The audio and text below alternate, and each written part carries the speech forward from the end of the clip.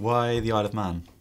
Uh, we're very inspired by the show Bergerac, which was a show made in the 80s set on Jersey. Jersey. Channel Island, and we, we were thinking about this show. We wanted a man, um, an actor, to get trapped on an island, basically. And we, we thought, um, can't make it Jersey, so we need another island. And then the producers of the film said, why not the Isle of Man? Because there's very good tax incentives to film there. Yeah, it would be So, financially so we thought, well, we'll have a look at that. We don't make any decisions based on money.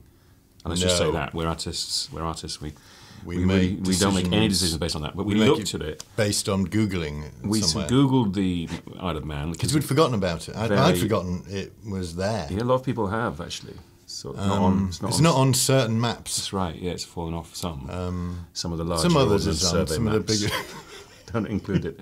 But um, we we sort of looked at it and went, this has got everything and more that we need. And also, there's never been a TV show set or a detective show, which is what No. our film's about.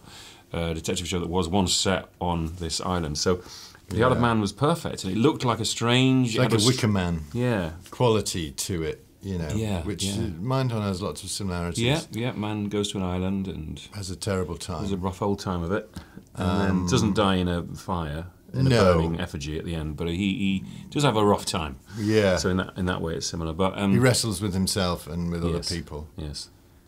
Um, but the Isle of Man filled all, ticked all our boxes Yeah. in terms of what we wanted. I mean, it has a sort of faded grandeur. A Trapped sort of, in time a little bit, sort of Yeah, a bit like in the Richard's 80s. character.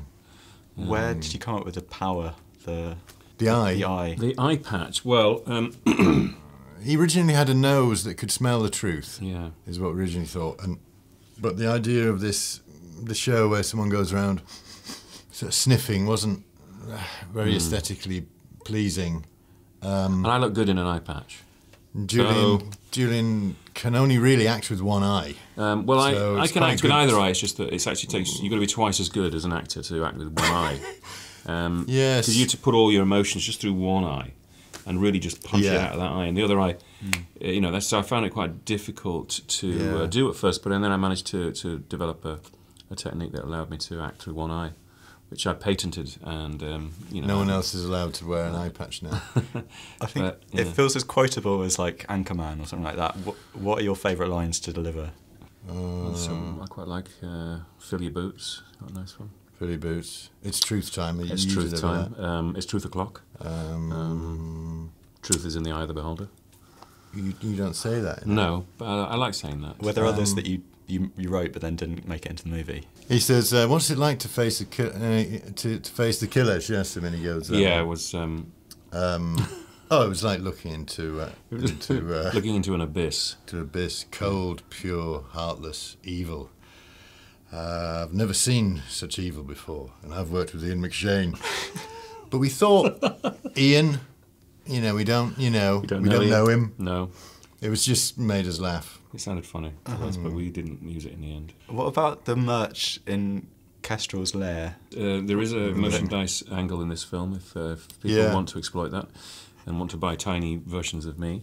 Um, Yeah, they can, the, yeah, the art do. department had a real field day. It's a sort of gift to an art department. They just went, they they took it and ran. We always had that sort of Yeah. little cupboard of dreams scene where he's got a jigsaw and a, Hmm. you know, all his old press cuttings and just- Mindhorn rulers and stuff. Yeah, it's nice to imagine the type of merchandise that would have got made in, Yeah. in the day off, off the back of a show that was not quite as successful as Bergerac or Knight Rider or Six Million Dollar Man, Yeah. but was a sort of small, poor man's Six Million Dollar Man, like a six, 60 quid man. Six, six pound man. That that that merchandise would be would be you know the equivalent merchandise. So it'd be like sort of terrible things that we. I think I had a, Ber- I think I had a um, Bergerac jigsaw, where you, but Yeah. it wasn't his face. It was the, uh, it was his face? It was Jersey. Just John Nettles' face, three thousand piece jigsaw. three thousand pieces.